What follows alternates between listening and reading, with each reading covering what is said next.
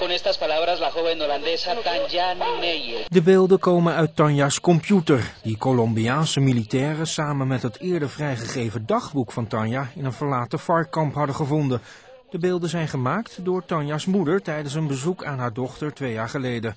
In de video spreekt ze haar vader en zussen toe, die ze dan al jaren niet heeft gezien. Ik heb jullie de afgelopen tijd heel erg gemist. En Vooral onze lieve Piwi heb ik heel erg gemist. Maar eh, ik denk toch dat ik hier moet zijn. Ik, ik ben ervan overtuigd dat wij voor een goede zaak vechten en dat we hier, eh, dat ik hier nodig ben.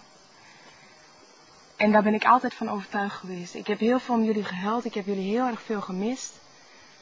Maar ik weet ook dat ik hier zit en dat ik het, dat ik het juist heb gedaan. En dat ik hier ook blijf.